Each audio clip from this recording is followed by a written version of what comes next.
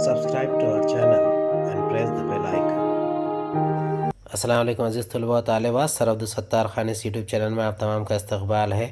मराठी सुगम भारती इयत्ता आठवीं जमात अश्तुम का मजमून मराठी है। ब्रिज कोर्स डे फोर्टीन, चौदहवा दिन है।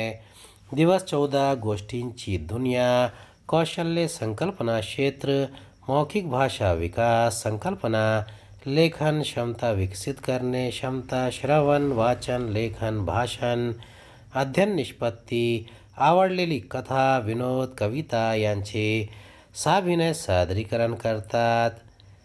जाणून घेऊया कृती व कृतीचा तपशील कार्यपद्धती पूरक साहित्य स्रोत. एकदा एक आटापा आठ पाठ नगराबाहेरील रानामध्ये कावड्यास बिस्किट मिळाले मिळालेत. चोचीत घेऊन कावडा झाडावर जाऊन बसला. त्या झाडाखालून कोल्हा जात होता. चोचीमध्ये बिस्कुट पाहताच कोल्ह्याचा तोंडाला पाणी. आपल्या खापरपणा जोबांनी लढवलेली शक्कल लढवत का सुटला को कोल्हा म्हणाला कावडे दादा कावडे दादा बराच दिवसात तुमच्या गोडगड्याचा आवाज ऐकला नाही. एखादी गझल ऐकवा. कावड्यास आपल्या खापर पंजोबांनी खोट्या स्तुतीवर भुलून कसा मूर्खपणा केला होता याची कथा माहीत होती. आपण हुशार कावडा असे तो कावडा ओरडतो आहोत हे दाखवण्यासाठी चोचीतील बिस्किट पाण्यामध्ये घट्ट पकडून काव पण तसे ना दाखवता तो कावड्यास म्हणाला बिस्किट खाली ना पडल्याने कोल्हा हिरमुसला. कावडे दादा वा काय मस्त गाय गायलात मला तुमचे या गाण्यासोबत नाच पाहावे आहे. अशी कोल्हे दादांनी फरमाईश करताच फांद्याच्या बेचकीमध्ये बिस्किट ठेवून कावडा काव पण आता मात्र कोल्हा पुरता हिरमुसला काव करत नाचला हार माने मानेल तर तो कोल्हा कसला? त्याला आपल्या पूर्वजांची इज्जत घालवायची नव्हती व आपल्या मागे लागलेली धूर्त ही पदवी गमवायची नव्हती. म्हणून पुन्हा कावड्यास तो म्हणतो कावडे दादा तुम्ही तर आता कमाल केलीत. आपण बेहद खुश झालो आहोत.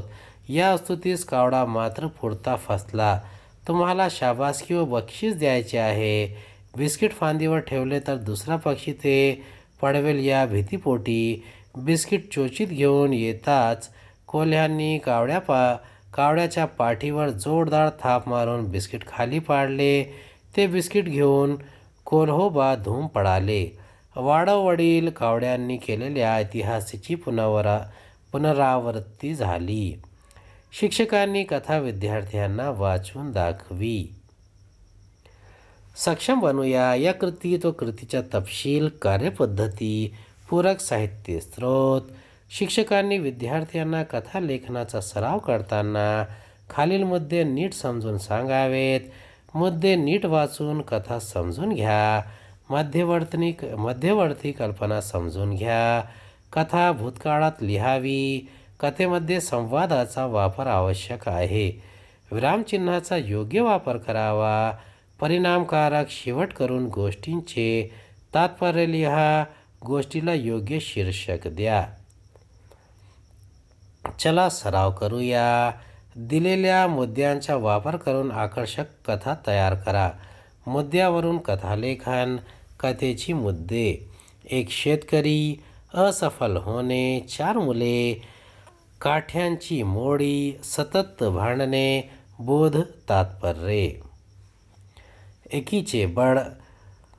एक ग्रस्तांचे पाच मुले होते पण त्या भावंडाचे आपसात कधीच पटायचे नाही.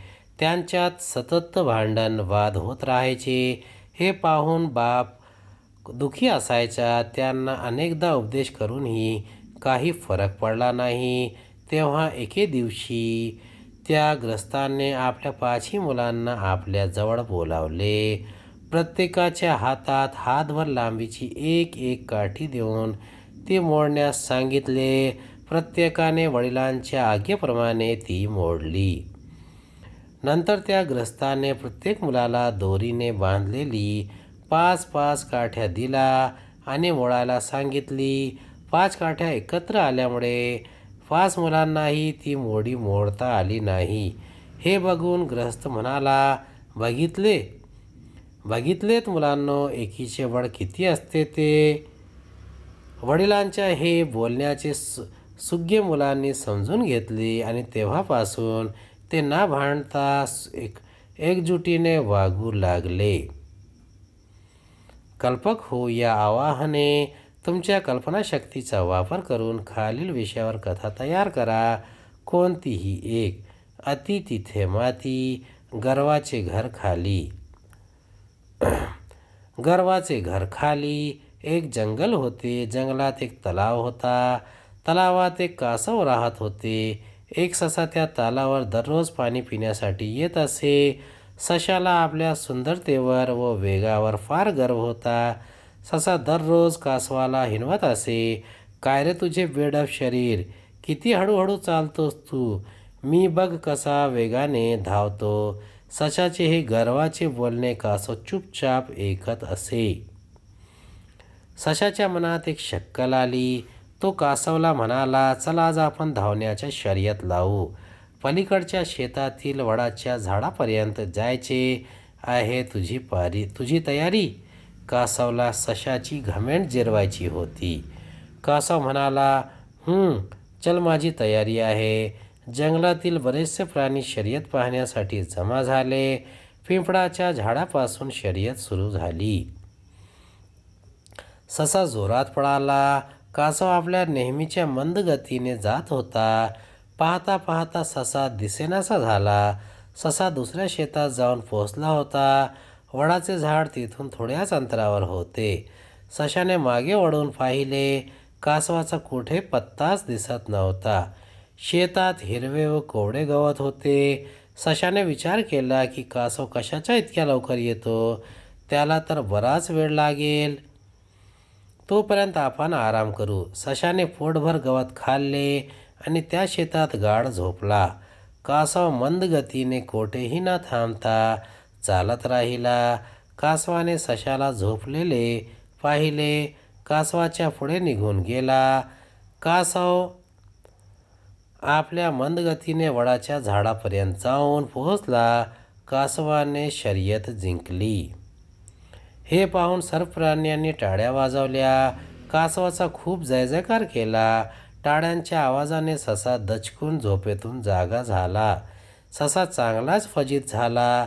अशा प्रकारे कासवाने सशांचे ग गर्वहरण केले. तात्पर्य माणसाने कधीही स्वतःवर गर्व करू नये. उम्मीद है आपको हमारा वीडियो पसंद आया होगा। अगले वीडियो में दोबारा मुलाकात होगी। खुदा हाफिज़।